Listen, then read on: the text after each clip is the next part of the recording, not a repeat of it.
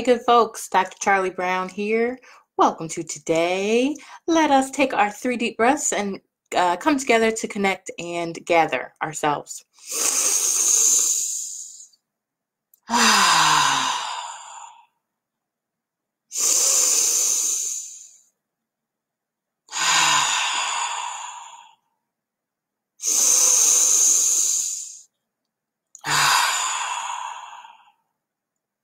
Hey, hey, I missed you all last week. I was teaching an in person class and I forgot to tape one to tape a Charli Chats.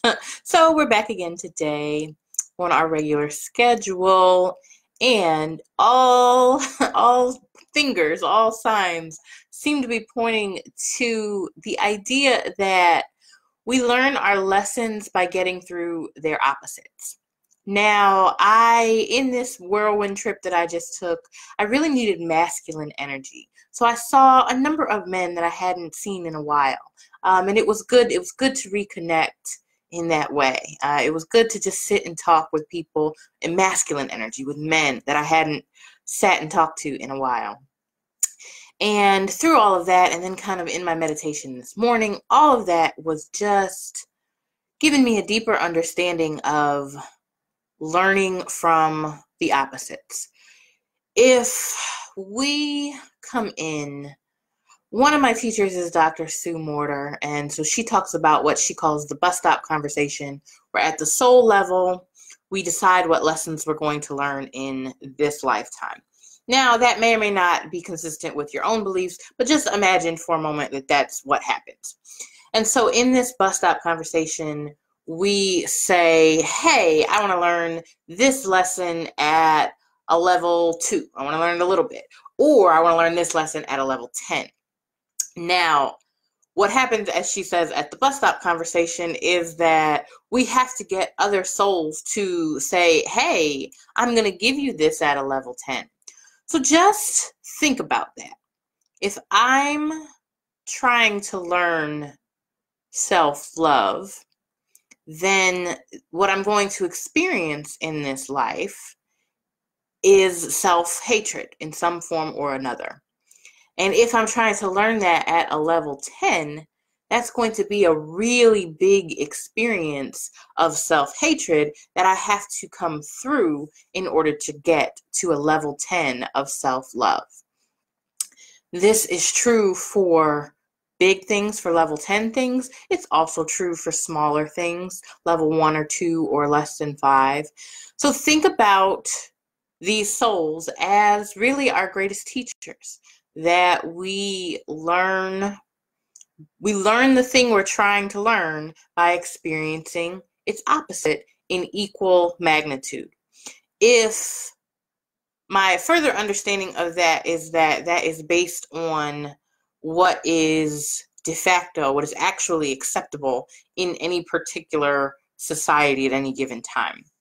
So if my experience of pain, if level 10 at an acceptable societal rate of physical pain was me stubbing my toe on a dresser, then if I came in to experience level 10 physical pain in that particular society dimension, whatever it is, then I might I might stub my toe on a lot of dressers. Of course, a stub toe on a dresser is not a level 10 of pain in the current world that we have created.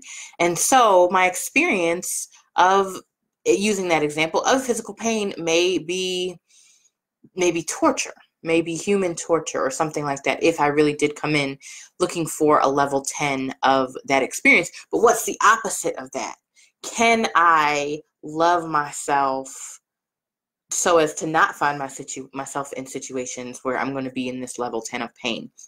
And so, really paying attention to often the things giving you, you know, giving you, ugh, giving you pushback or the things that don't seem to be going right ask yourself what is the opposite of this thing in equal measure um, and and that is perhaps one of the things that you decided to learn in this lifetime and see if you can start to maybe you can't get to the full opposite, but can you get a little bit closer? Can you get one step closer in vibration? Can you really gratitude is important? Can you really be grateful for the experience as you're having it in this moment?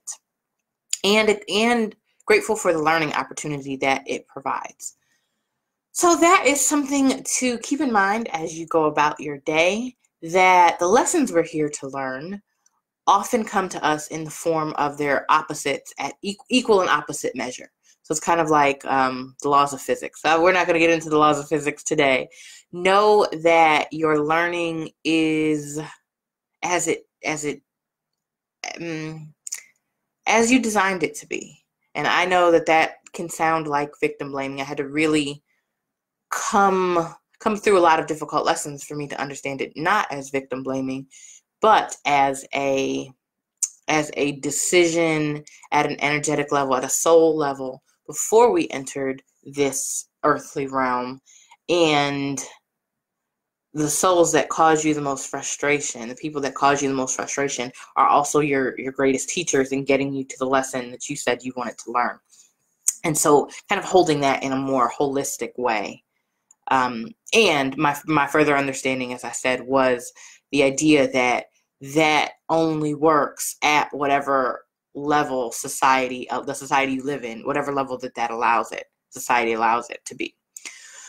So something to ponder today. It's always my distinct honor and pleasure to connect with you here on these charli chats and i hope you join me again in a few days when we are at it again. Until that time i am dr charli and i want you to take great care. Bye bye now